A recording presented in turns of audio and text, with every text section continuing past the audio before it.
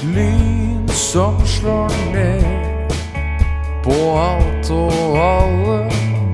Jeg er en fyr som må leve med det. Hva var det som skjedde? Før så var hun snill, men nå gjør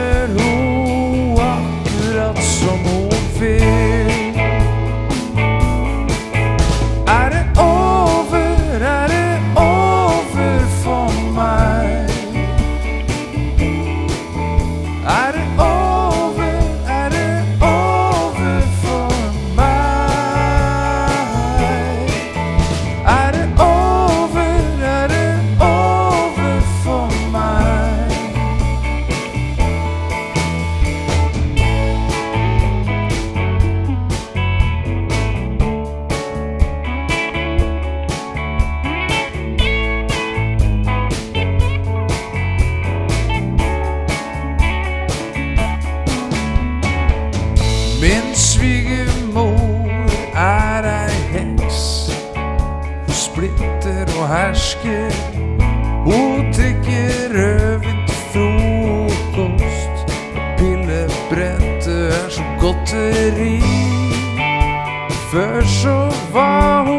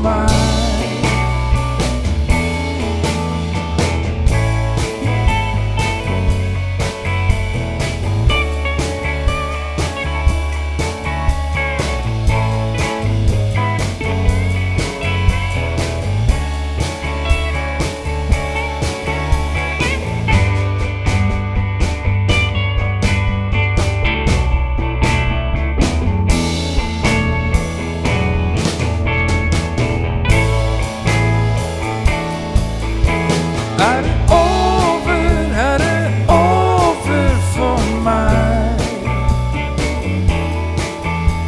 it over.